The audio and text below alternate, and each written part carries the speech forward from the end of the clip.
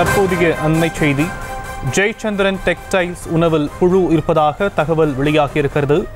அதை அண்மை செய்தியாக பார்த்து கொண்டிருக்கிறோம். தாம்பரத்தில் இருக்கக்கூடிய ஜெயச்சந்திரன் டெக்ஸ்டைல்ஸ் உணவகத்தில் உணவில் புழு இருந்திருப்பதாக தகவல் வெளியாகியிருக்கிறது.